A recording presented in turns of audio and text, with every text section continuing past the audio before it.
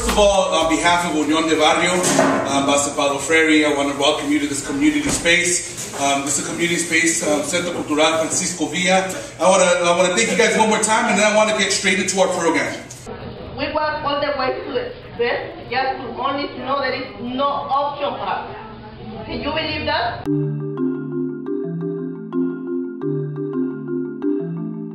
we were shut out of the decision to close down the school in the first place. Um, uh, students, teachers, and parents uh, never had a say in it.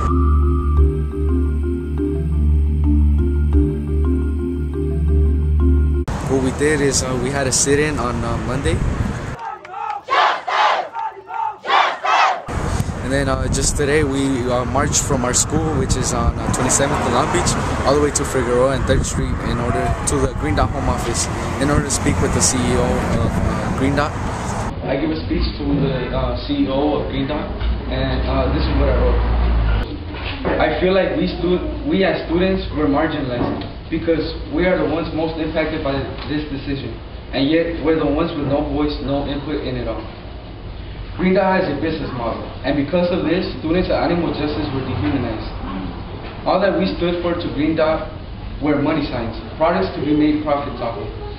As soon as we failed to rake in enough money for Green Dot to profit and prosper, we were pushed aside, stored away like old products at a supermarket. The CEO of Green Dot just uh, kept uh, going around the problem, but not actually dealing with the actual problem. We walked back from the office to the school.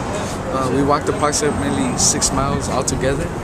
Because if we don't look at the larger struggle, then the reality is that we'll constantly be lost into our own problems here. All right, um, do we have another speaker from Justice coming up? They say that everything's mostly about money, that they do not see it as more of an object or product. And that's, that's a lie. They do. Yeah. Great job, great job. You got that great update there, uh, Justice. And you know, thinking about what's going on, you know, right here in the hood, we have we, we, we know when they treat us like commodities, when they treat us like we're disposable, when they treat us like that, we know what they are. And they're nothing more than poverty pimps. What's a poverty pimp? Somebody who gets rich off the poverty of others.